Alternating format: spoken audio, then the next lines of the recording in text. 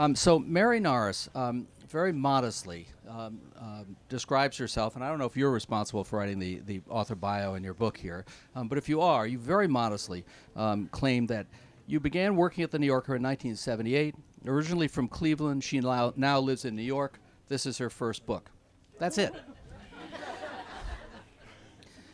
Truth be told, generations of New Yorker writers would genuflect in front of her if they had the opportunity. And that is not an understatement.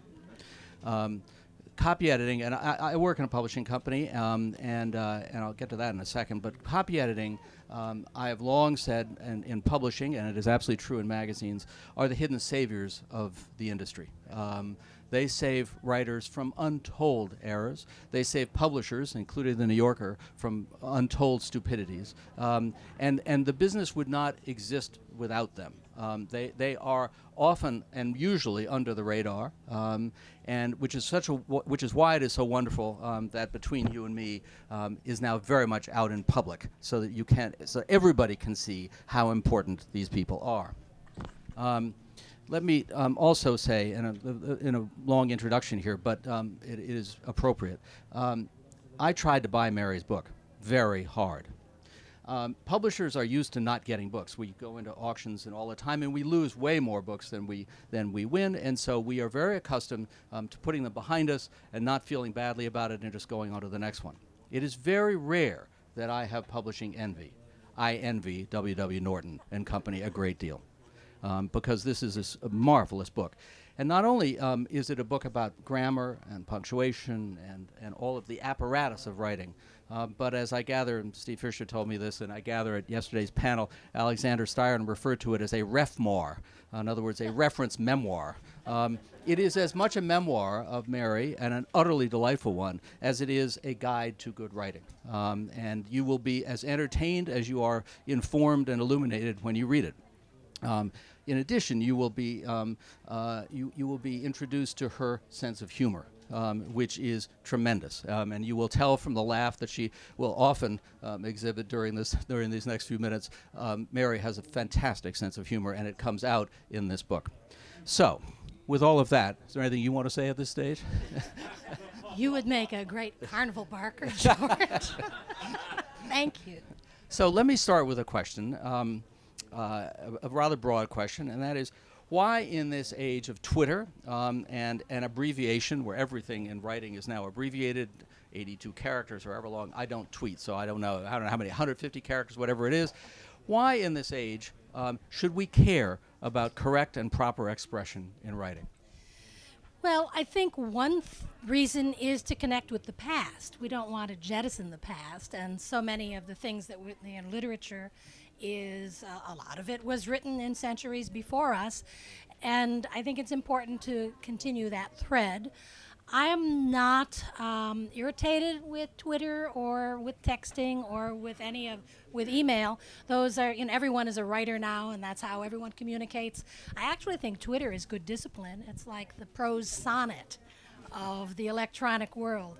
Um, it's a discipline to keep it under 140 characters and and abbreviations and um, the things that people use on email. Like, I actually really like YOLO. You only live once, and um, if you've seen somebody posted this online that YOLO is for people who don't know the meaning of carpe diem. uh, but those things are fun. I think all of the electronic media have did I get that right? Media is plural, right? They have a lot of energy. But I think when it's time to put something on paper and put it between hard covers, then it's time to clean up your act and make it worthy of those who have gone before. Is is writing today, um, in general, in your view, and you've now had, was it 35 years? 35 years at the New Yorker. Um, is writing today um, in general as good as it was a couple of generations ago. Um, often people decry writing today. Um, I'm of the opinion that it is as good as it's ever been, but I'd, I'd, love to know what you think. Well, I think it's as good as it's ever been, some of it better. Um, I certainly could name a lot of writers that are as good as the writers of the past.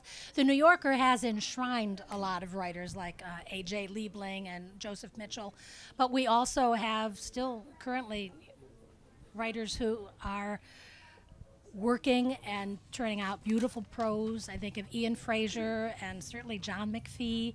Roger Angell is still alive and, and writing. And, and there are a lot of young people still um, who are coming up at the New Yorker who are wonderful reporters and wonderful writers.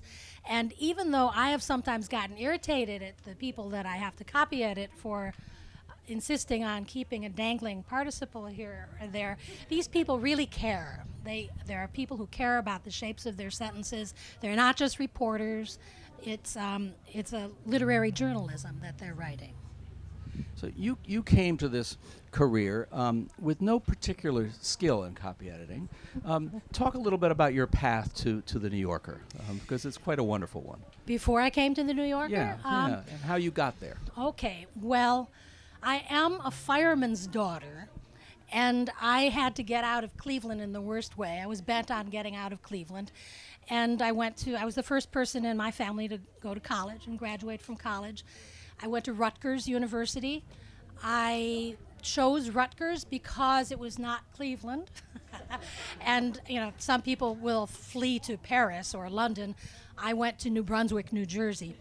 Um, but somebody at school told me that it had a wonderful school of dairy science, and I liked cows. The way some teenage girls like horses, I was into cows. So I got out of Cleveland. I took one course in dairy science.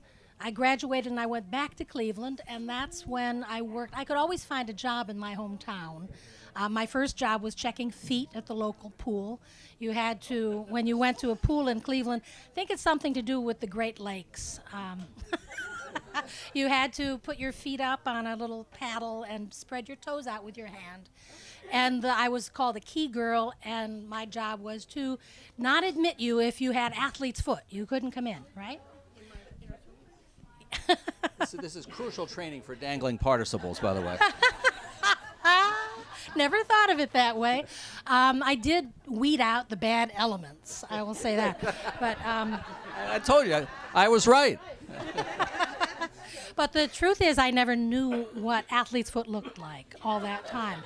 So then I came back to Cleveland. My first job after graduating from college was in a costume company, painting the eyes on panther heads and things like that.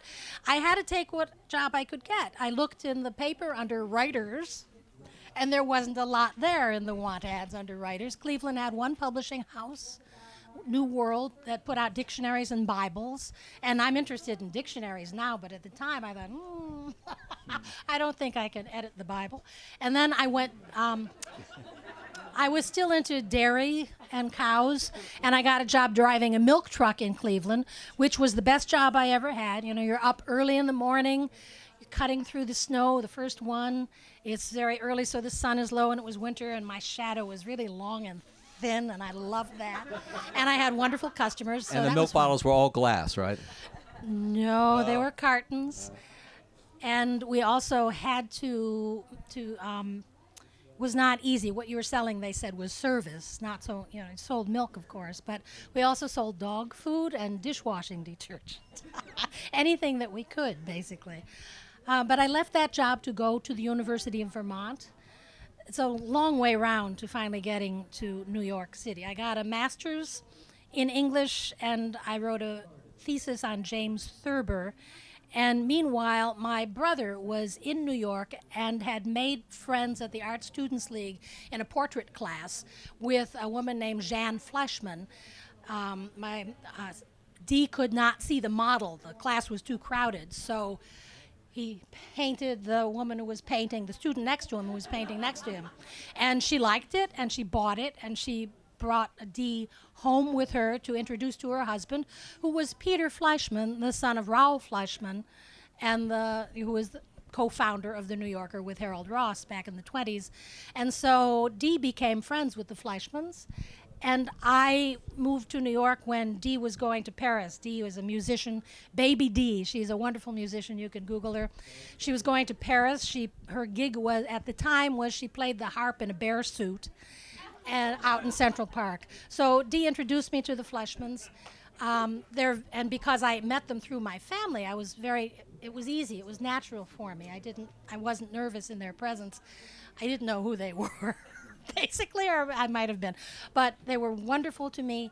Peter offered when it became apparent. Actually, it was I was trying to get some kind of a job in New York, applying. You know, I would just walk into Ms. Magazine and say, "Do you need an intern?" And it was the person I was talking to was the receptionist, and it was her job I wanted. So she basically told me, "We don't have any openings," and then I would go away. But Peter called the managing, the executive editor of the New Yorker for me and asked if he would talk to me. Peter, as uh, the business side, he had no influence in editorial, and I was always bent on, you know, making sure people knew that he didn't get me the job. I had to take the typing test like anyone else. I I flunked one typing test for the typing pool. And the other test in the editorial library was on index cards and a manual, and I passed that. So I started in the editorial library of the New Yorker. It was good for me because I was still working on this thesis on James Thurber, and there were all kinds of scrapbooks and pieces that had not been collected, and cartoons. And I was able from there to. I started writing. I started getting rejected by Talk of the Town. You know, I thought as soon as I got the job that, um, you know, in the New Yorker, the talk stories would sometimes begin. A young friend writes, or a young woman we know writes, and I always thought, oh, I'm going to do that. That's going to be me. That took about four years to get one piece in, and my pieces were always coming back with the um, note from William Shawn that said, and this is my Shawn imitation, not right for us. and I thought that was going to be my epitaph in the end. You know. But I worked my way through, I, I learned how to foundry proofread, which is comparing the day before's proof to the new one. I learned collating, which it was um, everyone who had a say in when a piece was going to press, the fact checker, the editor, the author, and two proofreaders, all their proofs, their marks had to all be combined on one clean proof for the printer. And I did not have the handwriting for that job, but I managed it for a while. And then finally, I got to the copy desk, which was actually my dream job.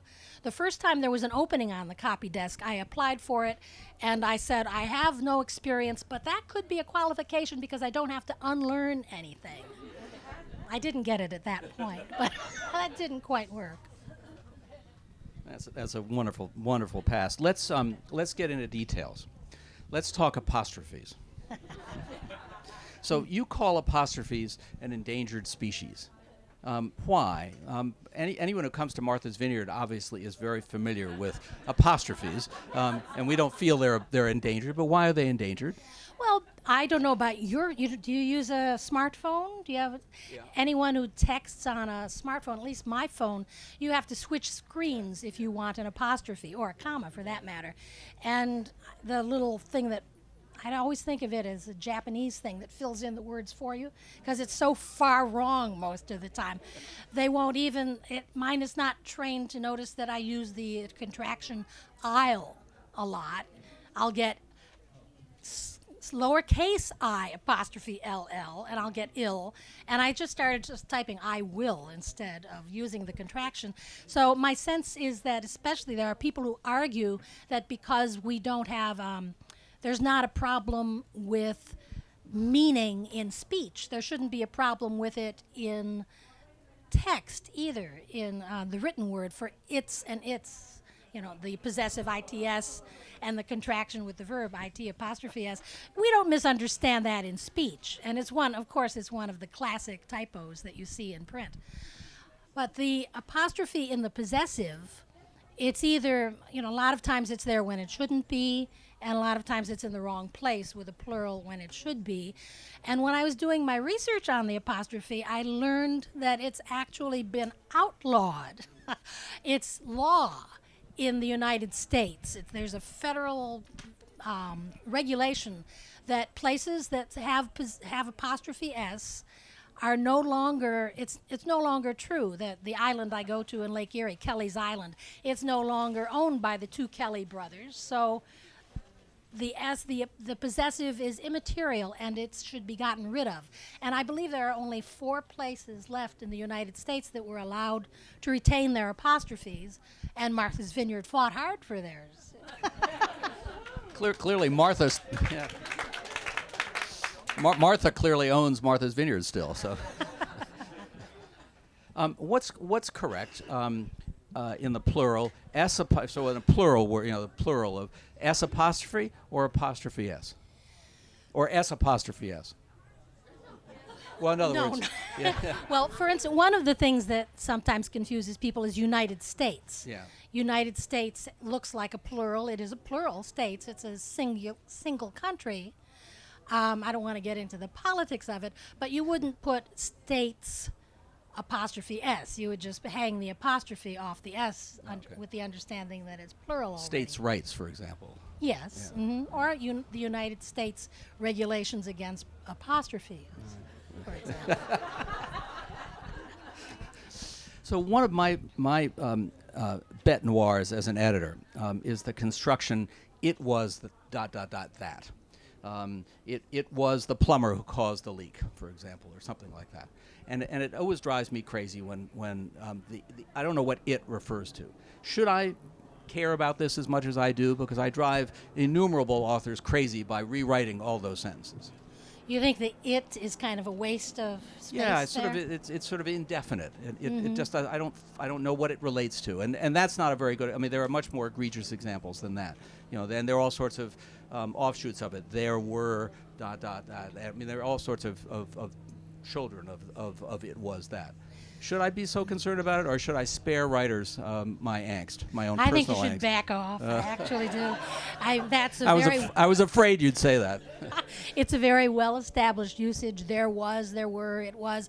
The only problem I think with it is that sometimes later in the sentence there might be another it that's actually that has an antecedent and then it's confusing. And yes, you should pursue those ones. All right, I will. I will, I will try to rein in my uh, my my proclivities. Um, how did it feel to be copy edited yourself? Oh, that was interesting. When um, my book was about to be copy edited at the publisher, they asked if I wanted the, it to have New Yorker style or W.W. Norton style. And my first response was, well, I want it to be like the New Yorker. That's what I'm used to looking at. And then I thought about it and I realized that when a new writer comes to the New Yorker and complains about anything that's our style, I just, you know, my response is, you're getting published in the New Yorker. Shove it. and and so I wanted to be amenable the way I expect writers who are published in the New Yorker to be amenable. So I said, okay, we'll go with New Yorkers. we- We'll go with Norton style, and it's not that different. They do use the serial comma, and that's important. I don't think I could have done it without the serial comma, and they don't use the double L's in words like leveled. I can live without the diaeresis that the New Yorker uses. I didn't miss that. But there were a few things. They hired it out. It was a freelance copy editor. The original copy editor who had actually requested to do the book, that would have been lovely, um, had a family emergency and she couldn't do it. So the, the person who copy edited it had his own ticks. That that would have been pressure. That's like cooking for Julia Child, you know. Well, I can tell you that he didn't seem the least bit intimidated. And and I think that was good actually, but he did a few things and as I said I wanted to be amenable, so I went along with a few things. Turns out he knew the difference between if and whether, and I've never known that. So I submitted to I you know bowed before his superior knowledge, but there were a few times when he wanted the word into instead of in. For instance, I have a chapter title, Who Put the Hyphen in Moby Dick? And that came back, Who Put the Hyphen into Moby Dick? And I thought, I'm drawing the line there. I'm taking that. That was like a harpoon, you know, in my chapter title. So I, I took that one back out. And a few of the things he did, if, there was one spelling of the word marvelous, which I w- used quoting a, a New Yorker proofreader saying it and it looked wrong with just one L. So I snuck that extra L back in, and I made a reference to it in the copy too. It said with two New Yorker L's, so they had to keep it. but then what happened was the New Yorker ran an excerpt from the book, so. the copy editor at the New Yorker was totally intimidated. Should I change these things back? And and actually, if you look at the commas in that piece, it's pretty confusing because there's a little of each style going on. talk a little bit about uh, uh, uh, something I appreciate particularly too, but talk a little bit about the glory of pencils. Um, and, and, and particularly talk about Blackwing pencils. I still work with pencil on paper. And that job I described earlier of collating, I had a boss who had a very faint handwriting, and the people at, in the makeup department of the New Yorker, in those days, those proofs were sent by fax.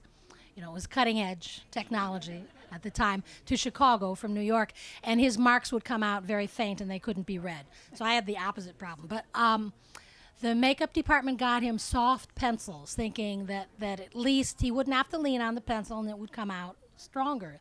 It would make a firmer mark. So I got used to that soft lead too. And were, when I went to the copy desk, I continued to use them. And I'd noticed that when somebody used my desk and left a pencil on the desk, and it was a number two, I, even without looking at that two on the shaft, I could tell this was a different kind of pencil. It made me feel like I had a hangover trying to write with it. It was too scratchy. So um, the New Yorker stopped having number one pencils in the supply cabinet, and I started having to buy my own pencils, which is an outrage. If, to anyone who's used to raiding the supply cabinet, you know that. Um, but I asked one year for number one pencils for Christmas. And somebody sent me a, a, gross of number one pencils, Dixon Ticonderogas, but they had been dropped or something somewhere along the route. So everyone was shattered. Did you ever get a bad pencil? You put it in the sharpener and then you try to write with it and it breaks off. So, and I have to go to these meetings where I'm sitting with the author and the editor and the checker, and I'm the one who's keeping, I'm the recording secretary. I'm making a clean proof for the um, for the printer for makeup, and my pencils keep breaking. And you know, somebody like Ken Auletta would flash his pocket and had eight mechanical pencils that some source in checking had given him. Try one of these.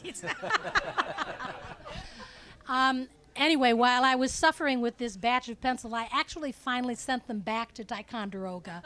I don't I didn't know why. I just wanted to get rid of them. I didn't want anyone else to take them and be stuck with them. And in the meantime, somebody had given me a box of Blackwings, Palomino Blackwings. Black Wings are famous pencils that were used by Nabokov and by Steinbeck and by Faye Dunaway, that famous writer. And um, Stephen, I said Sontag, right? Um, so I got used to those. And by the time that I heard back from Ticonderoga, and they sent me another gross of pencils, and they may be they may be very fine pencils, but I'm hooked on these Blackwings now, and I take them wherever I go. I started when I was on the book tour. The first place I went in Chicago, I was signing in pencil with the Blackwings, making a little too much of a fetish out of it my pencil case and all my Blackwings got stolen from the New York Public Library when I was speaking there. So now I sign in anything anyone hands me. You know?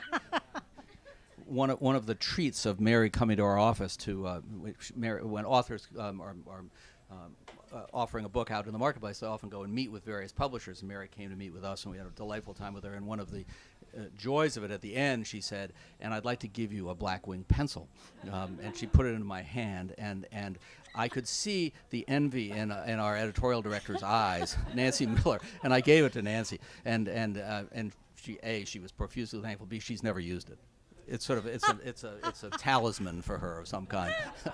um, there is, by the way, a wonderful exchange between Mary and Ticonderoga, Dixon Ticonderoga pencils in the book. Um, the letter she wrote and the letter she got back, um, which was which was quite a wonderful letter in its own right. It uh, was a nice letter, and it really set me up because you know she apologized, saying that maybe they were dropped lots of things happen. The, the um, lead is extra soft, as I knew. But then she said, maybe it's your pencil sharpener. she, not knowing that I'm a connoisseur of pencil sharpeners. And she set me up for the whole last section of the book, which is about visiting the Pencil Sharpener Museum in Logan, Ohio. So I'm going to ask one more question, and then and we're going to throw it open to the audience. Um, but um, can you recount, and would you like to even recount, um, any famous catches that you've made, and particularly your first one? I mean, your first one was was iconic for you, um, but have there been any other any other famous catches or, or catches that you particularly remember? I did once. uh, The one that, uh, that George is talking about is that I caught flower, F L O W E R, when it should have been flower, F L O U R, and this was in a Christmas list on sta- Staples. Somebody was shopping for food in Bloomingdale's, and that was when I was still in the library, and that kind of made my reputation. I actually got a note from a wonderful editor named Gardner Botsford thanking me for making that catch. The piece was by his wife Janet Malcolm, so especially grateful. The only thing that springs to mind now is in a comment by um, Rick Hertzberg, who wrote a lot about you know um, politics and peace and peace was spelt instead of P E A C E, it was spelt P I E C E, and it went all the way through from manuscript almost to the printer, and I caught it at about you know the nth minute there. I'm actually trying to find the, the letter you got from. Um, oh, here it is. So this is from Gardner Bots, Botsford um, to uh, to Mary after she caught the flower flower thing. I thank you. The writer thanks you. Eleanor Gould thanks you, who also worked at the New Yorker at a higher level than you did um, the, at the time. The proofreader thanks you. The fact checker thanks you. We all thank you for doing what we in all our numbers could not do, catching the flower for flower in the Christmas list on food. Um, that is that's a pretty good statement about what Mary Norris has done at the New Yorker for the past 35 years. Um, let me throw it open to the audience, um, and uh, and please, anybody who has a question, raise your hand. Yes, here and then there. So, in addition to editing for for grammar, punctuation, important part of your job is maintaining the style of the New Yorker. Can you explain the importance of a publication, whether it's a publishing house, a magazine, a newspaper, a broadcast organization? What makes that organization's style so important that it's worth maintaining from issue to issue, publication to publication? Could you all hear? Yeah. Okay. Okay, so the question is, uh, to, to abbreviate it, what makes any one publication's style so important that it should be maintained issue to issue? Well, there are two definitions of style that we're talking about, right? We're not talking about writer's style, that's the writer's personality. We're talking about house style. And the idea is that it's a little like a restaurant. You have a favorite restaurant and you go there because you know you can count on it to have the dishes that you like and they're prepared the same way and you, know, you can trust them. That's a little how a house style is. You know what to expect. You know that the New Yorker is going to do its best to spell everything right. You are maybe amused or irritated by the diaereses, um, and the commas might be a little distracting until you get so you know you don't have to pause after everyone, every comma, and you know you don't have to write to the copy department and put a comma after every word to make your point. You don't have to do that. We know they're there. Okay. Um, I think it's just a matter of there's something pleasing about the consistency that there is that the right word? I'm still I'm on my restaurant metaphor. I think um, the new the New York Times, the old gray lady. You know, you you can trust that it's going to be the same whenever they do change something. You know, it takes a long time to get used to. When the New Yorker changes its format, its design, that takes a long time to get used to. Again, it's kind of part of uh, history. It's part, you know, we still use this type, this font that was carved or invented by Rea Irvin for the title The New Yorker and for the titles of the pieces. I think it's just pleasing to know that you can trust it, that it's going to be the same. Okay? Here and then and then there. I don't know that I heard your final uh, opinion about S, Uh, S apostrophe versus apostrophe. So if a word ends in S, I didn't hear what you Um, there's a difference here too. I think this is about whether words end in s and whether they have apostrophes. There's a difference. If you're talking about a plural that ends in s, you just add an apostrophe. But there is a problem with words that are singular and end in s. And there is a habit, and it's actually a legitimate thing. I found it in the Chicago Manual of Style, and I was surprised because my name started appearing Norris with just the apostrophe and no S on the end. So sibilants have a different rule attached to them by some places. And this Norris with just the apostrophe, it was in Writer's Digest, and they had kindly interviewed me, and I answered the questions, and then I and I looked at the proof when they sent it back. But I did add a note about is that a very ir- irritated note, I'm afraid. Is that your style to just put that apostrophe after the S in la- my last name? And I never heard back from that person again. so it's it's legitimate. Some publications have decided not to use the extra S when a word ends in a sibilant. And there are some names, I'm not up there with Jesus, but Jesus and Sophocles, those classical names don't add the extra S because I think the idea is the word already has too many S's in it. That's all. It's very pragmatic. Yes, please. And the, you're next.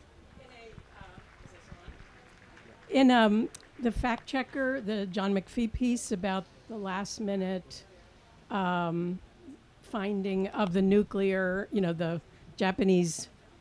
Do you know that story? It's from. It's a new. It's one of John McPhee's pieces about um, the fact checker getting to Florida at the last minute to find the guy who could confirm the story of the. I have um, read that story. yeah. Yes. I wondered what happened to the copy editor. I mean, it, hanging at the last minute to go through the story again because it was like a you know it was a eleventh hour, twelfth hour change. What what are you there? You know, way into the night on stories like that, or has that does that happen a lot? That does happen from time to time, and that's one of the pressures of the job is having to read something again and again and again and stay fresh on it and be able to make all of the changes. If one name, if a name changes, it has to change all the way through the piece. And now we have a function on the, the computer that can do that, but you can't trust that either because it may change a name that isn't meant to be changed. So, yes, we do stay um, sometimes until all hours. Some of us have more stamina than others. sometimes you really are just dead on the piece, and if there was a mistake in there, you couldn't see it anymore, you know. So, um, but yeah, that's part of the deal. You have to stay and make sure that all the changes are right at the end. That's why we get paid. After that. how do you decide when to correct commonly misused words like fulsome or people who use insure instead of ensure? These have become increasingly common. Well, I'm afraid um, your question is over my head because I don't know anything that's wrong with the word wholesome. Fulsome. Oh, fulsome. Yeah. Yeah. All right. Well, we we hold the line.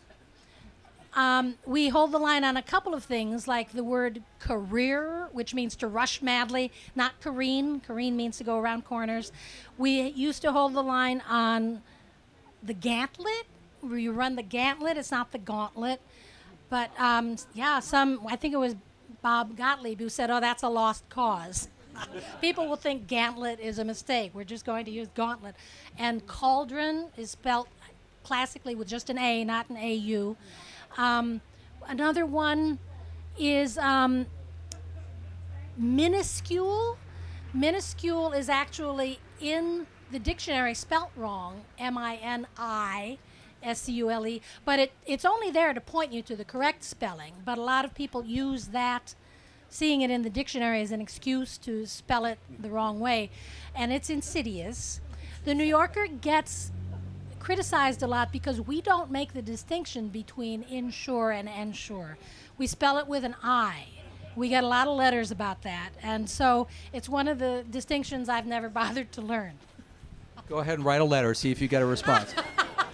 La- last question here, and then and then and then Mary. I want The crown, Yeah. yes. Uh, comma, semicolon, colon. Your thoughts? Um, you know, I read something I thought was hilarious. I read uh, Noah Webster's first little spell spell book spelling book for children. He also had a section on punctuation, and his thing was that um, punctuation is all about timing, and a comma was one beat. A semicolon was two beats, a colon was three beats, and a period was four beats. And that's how they did it back in that century.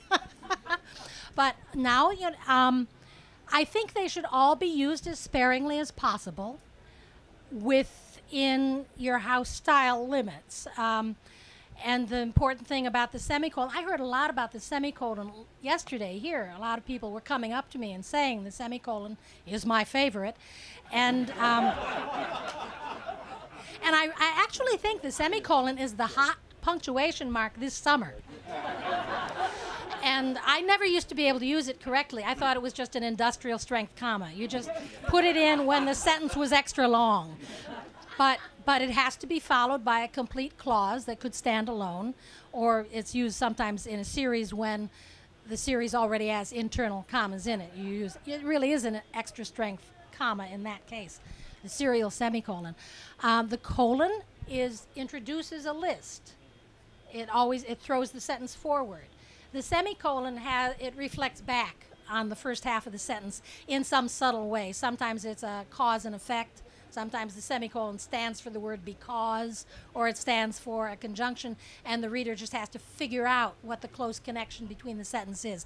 Some writers cheat and they put something completely disconnected, unconnected, just to make you keep reading. Because the semicolon means it's not over. You have to keep reading. So, and a period is a period, right? And that's it. Um, the crown. Yeah. Okay. So no, no. Hold on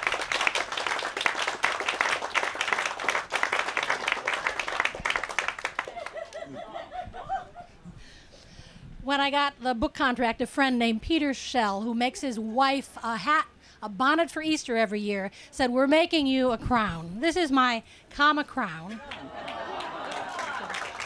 I usually make someone crown me, but I'm just going to pop it on here. Here's the crown.